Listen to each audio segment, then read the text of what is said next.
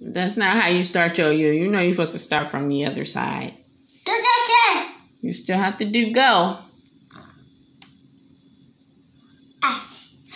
That's okay. If you make a mistake, you can erase it. Look, here's your eraser. Journee. Get your eraser.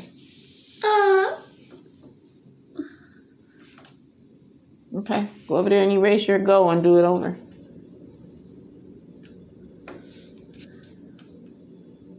Erase that part too.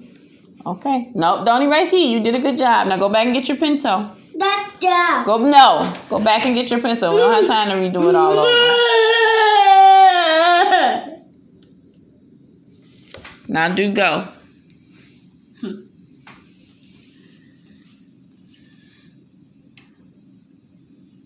Supposed to start with the first letter.